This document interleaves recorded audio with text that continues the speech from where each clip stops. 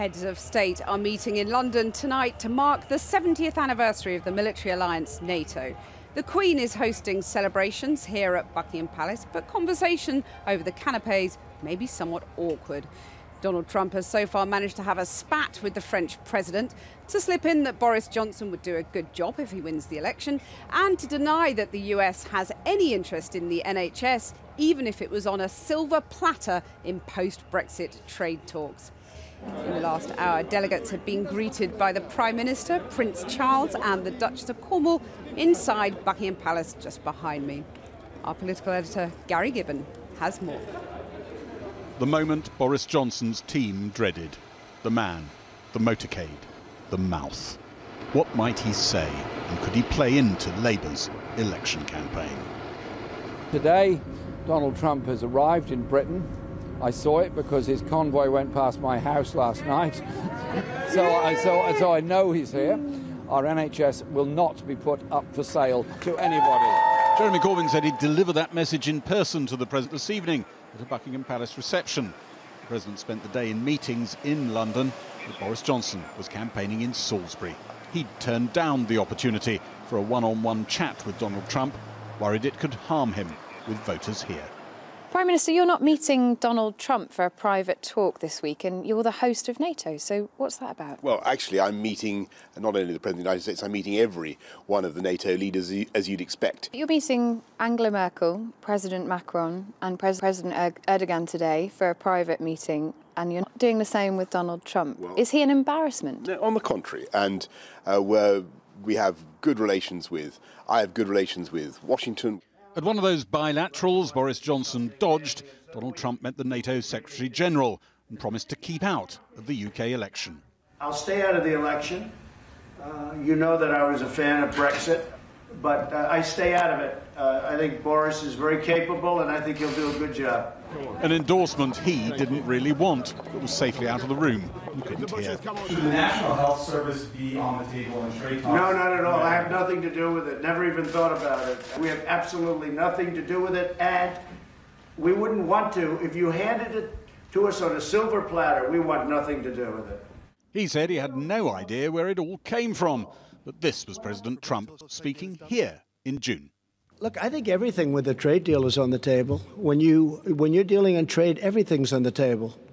So NHS or anything else, or a lot a lot more than that. But everything will be on the table, absolutely. Donald Trump himself said everything is on the table, including our National Health Service. Jeremy Corbyn was on daytime TV making the most of what his team sees as a propaganda gift. He's in the Alpine Lodge. Very comfortable in our Alpine Lodge by the fire there. Back, Back at the US ambassador's residence, the president seemed to be suffering another memory loss.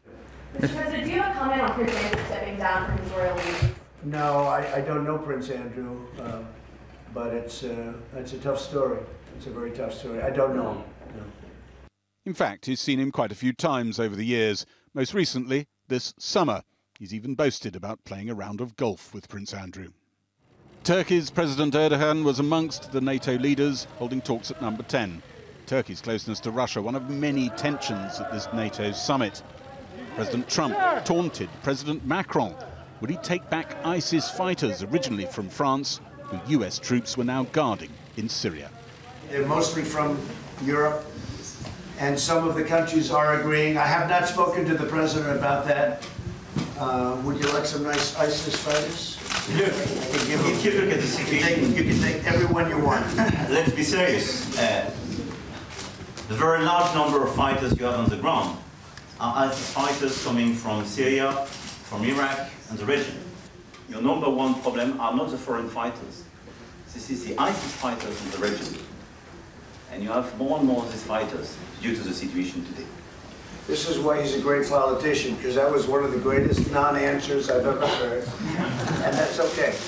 As they readied Buckingham Palace for the NATO reception, President Trump was taking on another NATO ally. Was Canada coughing up the 2% of GDP on defence spending that NATO sets as a guideline?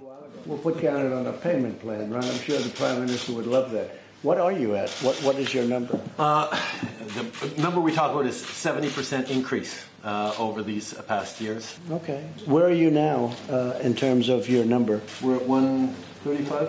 1.3. 1.3. One fourth. One fourth. And, and They'll continuing to move They're forward. getting there. The US President's convoy making its way to Buckingham Palace this evening. All leaders were greeted by palace staff at the door. But this US Secret Serviceman suggested he should take over for the President's armour-plated limo. It's NATO's 70th anniversary gathering, but there's no air of celebration. President Macron described NATO last month as brain dead. President Trump today dismissed that as insulting, but he himself has called NATO obsolete. Gary Gibbon reporting there. Well, in about 20 minutes from now, you can expect a traffic jam of motorcades somewhere at the end of Downing Street as almost 30 NATO leaders converge on Downing Street for dinner with Boris Johnson. All very festive, frankly. I'm also going to have a choir here, by the way. Now, before we came on air, I spoke to the Shadow Foreign Secretary, Emily Thornberry, and I began by asking her whether Labour are rather disappointed that Donald Trump hasn't backed up Jeremy Corbyn's claim that the NHS is for sale. Yes, well, he has a, uh, a somewhat um, loose relationship with the truth, doesn't he? Um, and he You're may be lying about that? I'm just saying that he may have been told some lines to uh, to speak, and uh, and it may even be that he's uh, agreed them with with uh, with Boris Johnson as well. But frankly, nobody believes either of them. Listen, he says, I don't even know. He says, I don't even know how it came up. The reason it came up was because last time he was here, he said that the NHS was on the table. Hmm. And now he says he doesn't want it on a silver platter. But you were hoping that Donald Trump, by putting his foot in it somewhere, would save your election campaign, you know, a week and a half before the election. He's not doing that for you, is he?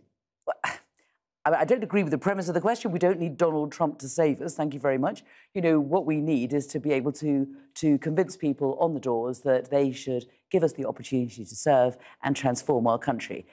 I, Donald Trump has how much longer in, the, in this country? I mean, he's got long enough, frankly, and he's got his Twitter. You're hoping that he'll say I mean, something I, I have no idea how long he's going to be able to maintain any mm. discipline, any mm. discipline. But the bottom and top of it is this is that, of course, pharmaceutical companies are interested in the data in relation to 60 million patients that we have on the National Health Mm. Service. Of course, they're interested in that. Of course, they're interested in the in how much pharmaceuticals can be sold to the NHS. Of course, they're interested in that. We've seen And it now in we the know it's off the table. And now we know that Donald Trump has been told that he has to say it's off the table. There's some question about that documentary evidence, isn't there?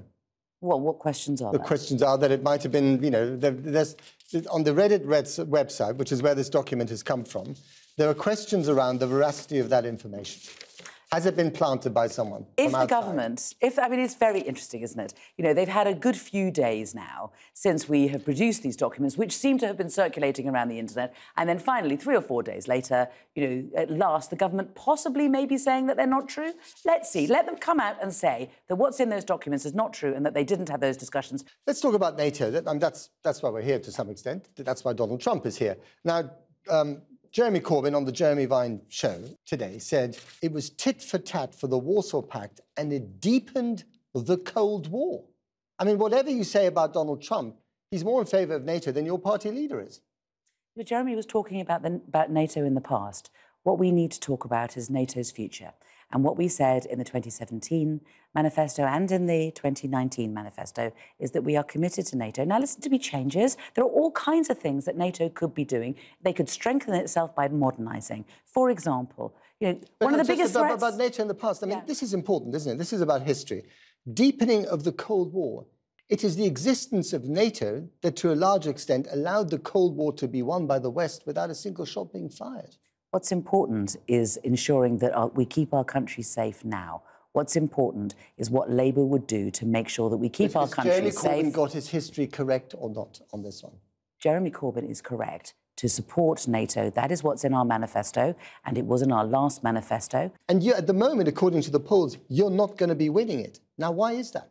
But the moment the country is holding its breath and we're waiting for the people to decide, they're the ones who are going to decide. It doesn't matter about opinion polls. If you remember, just from two years ago, how far behind we were supposed to be in the opinion polls, and then what? Look what Yeah, you did better than night. expected, but you still lost the election. You still lost the election. And, and, and the hunger that I see amongst our activists who, who, who rightly believe that we did as well as we did. We, we, got into, we got a more of an increase in the Labour vote than we had done since 1945. Yes, we didn't win, and we need another push. And in the next week or so, we shall see what happens because we are still out on doorsteps. We are still out there winning hearts and minds, and we are telling people there's another way than this. We do not need to have this shambles. You put your trust in Labour.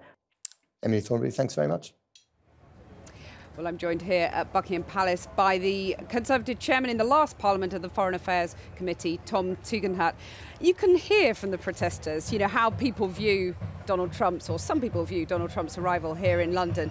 So that endorsement of Boris Johnson as a, you know, excellent leader would be do a very good job after the after the election. That's in the way the last thing your party needs, isn't it? Well, even a stop clock tells the right time twice a day. So, you know, it's not surprising that uh, people get that right uh, because he will do a good job. So that's uh, that's hardly a surprising thing yeah, to say. Did you need an endorsement from someone who is seen by some within your own party as pretty toxic? Look, Nick Griffin endorsed Jeremy Corbyn. I think we've all got people who we don't want to endorse us. That's that's not, just I'm not part sure of life, in quite I'm the same afraid. way. Um, but I mean, he said he'd stay out of the election. He played along with Downing Street's script. But his intervention on the NHS was that helpful? Do you think? Well, I think what's helpful is that he and now everybody else has made it clear that there is absolutely no question of the NHS being for sale. Everybody knows that the NHS has been under conservative management, as it were, for more than half its life, and that's where the investment, the real investment, is coming from. I mean, your own focus group yesterday showed that people don't trust uh, pie in the sky promises. They do trust real figures and real pledges. But he might have made that clear today. But just six months ago, he said everything is on the table. So NHS or anything else. Do you believe that Donald Trump or the Donald Trump today? Well, the or person, neither? the people I believe are the British people who are never going to allow their NHS to be sold.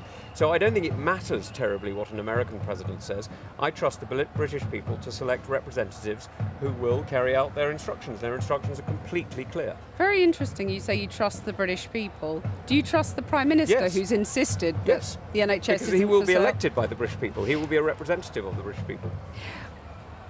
Let's look at the global picture because that's what originally this meeting was about. Um, given this Macron Trump spat, does that, do you think, show where the real power in this alliance lies? I, I, think what it shows is that there is a real challenge for the international community in setting uh, the future world order. And I think this is a real opportunity for the United Kingdom. Look, when Boris Johnson achieves a majority in Parliament, and has actually left the European Union, there's a huge opportunity for him to do what the world is crying out for, which is to look again at the international order and to actually go around talking to world leaders. France, the United States are two very obvious examples, but there are many others around the world, and talk about resetting a global agenda that has really, frankly, lost its way.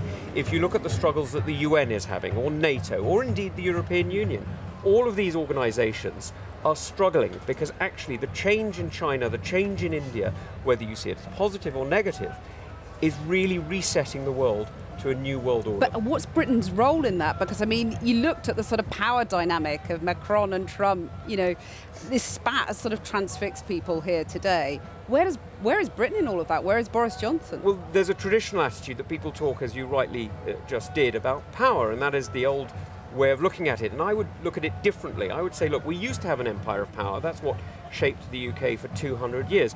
We're now looking at an empire of the mind. That mind, what I mean by that is the intellectual underpinning of the global economy, the rule of law, accountancy. Some of the significantly less sexy things in mm. life are actually underpinned by British standards and British ideas and concepts, whether it's contract law or or indeed accountancy. But given what NATO was set up to do, is it now fit for purpose in this new world? Well, I think it certainly is. I mean, uh, the old line, of course, is to keep the, uh, the, the, the Russians out, the Americans in, and the Germans down. And, and, certainly that's exactly what it's achieved extremely successfully for the best part of 70 years. And actually, look, there are challenges. Let's not kid ourselves. There are challenges about the funding of NATO. But the reality is that NATO is facing a, a Russian threat very effectively, not just in a military sense, but if you look at the cyber center in Estonia, if you look at the way that NATO has reacted to, for example, the Skripal uh, attack, you see an alliance that is not only ready but actually fit for the 21st century, but certainly needs some updating too.